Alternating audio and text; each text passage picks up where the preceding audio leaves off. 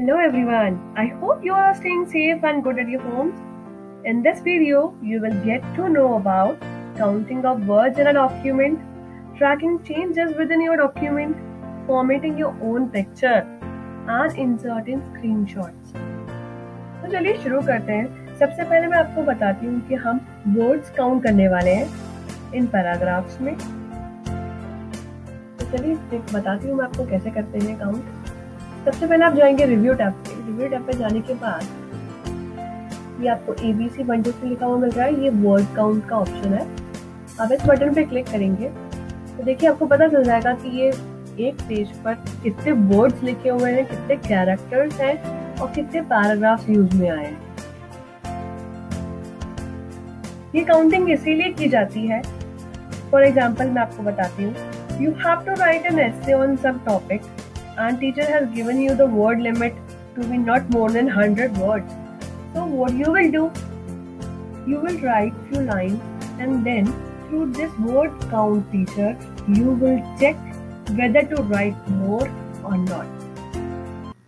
अब मैं आपको बताने वाली हूँ कि अपने डॉक्यूमेंट में जो आपने चेंजेस कर दिए हो उसको ट्रैक कैसे करें मतलब कि अगर किसी ने आपके वर्ड डॉक्यूमेंट में कुछ चेंजेस किए हैं, कई बार ऐसा हो जाता है कि हमें पता नहीं चलता है किसी ने कुछ चेंज करा हमारे डॉक्यूमेंट में, हमें पता ही नहीं चल रहा है कि वो उसने चेंज जो किया है, वो कहाँ किया है।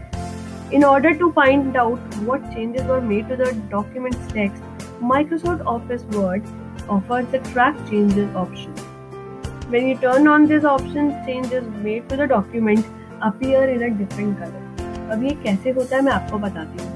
फॉर एग्ज़ाम्पल मैंने ये सेलिब्रेटेड जो लिखा हुआ है इसको डिलीट कर और यहाँ से वाई भी डिलीट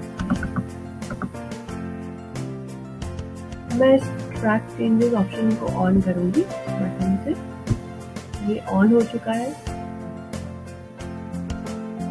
अब मैं इसकी जगह कुछ भी लिखूँगी। तो ये देखिए रेड कलर से अंडरलाइन होके आपको दिखेगा। मैंने यहाँ कुछ लिखना चाहा, क्योंकि मैंने जो पहले लिखे हुए थे वर्ड्स यहाँ लिखे हुए थे और यहाँ लिखे हुए थे।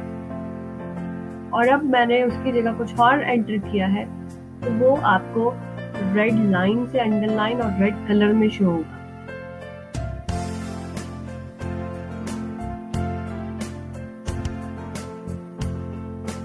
इस फीचर की हेल्प से आपको ये तो पता नहीं चलेगा कि कौन से वर्ड्स डिलीट हुए हैं बट एटलीस्ट ये ज़रूर पता चल जाएगा कि किस पैराग्राफ की किस पोजीशन से वर्ड्स डिलीट हुए M word give you the option to accept or reject the changes made to your document all at once or one at a time accept करने के लिए to accept madam click on accept and move to next. This will be selected. Click one more time. आप एक एक करके भी उनको normal word बना सकते हैं और अगर आप एक साथ करना चाहते हैं तो you will do accept all changes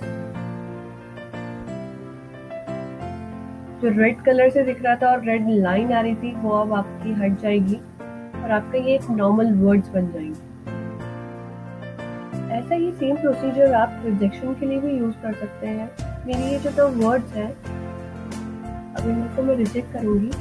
देखिए कैसे रिजेक्ट होता है। Reject and move to next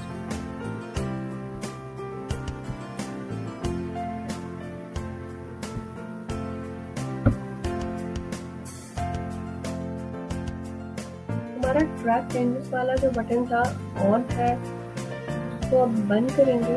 इसको बंद करने के लिए आप इस पर वापस क्लिक भी कर सकते हैं। तो ये ट्रैक चेंजेस वाला आपका जो बटन है वो बंद हो जाएगा उसके बाद चेंजेस ट्रैक होना बंद हो जाएँगे। और आप यहाँ से भी उसको बंद कर सकते हैं। मैं आपको बताती हूँ कि पिक्चर को फॉर्मेट कैसे करते हैं, उसमें इफेक्ट्स कैसे डालते हैं। To insert picture select any picture. For example, I took this picture. Insert. मेरी एक पिक्चर इंसर्ट हो गई है। आपको यहाँ पे दिखे होंगे बहुत सारे options corrections colouring artistic effect चलिए इफेक्ट्स देते हैं हम इसमें। अवेलेबल ऑप्शन है ये।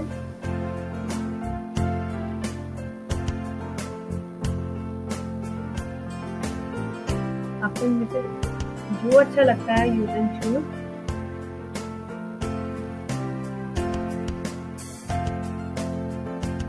ये देखिए, मैंने इसके स्टाइल चेंज की है। ऐसी स्टाइल्स आप भी चूज़ कर सकते हैं अवेलेबल ऑप्शंस में से।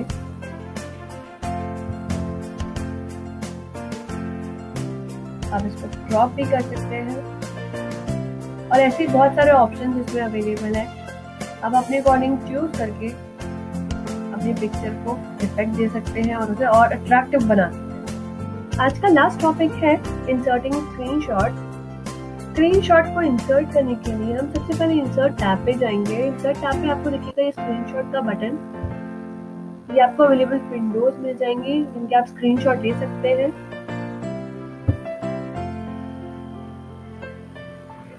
ये देखिए मैंने चूज़ कर लिया है।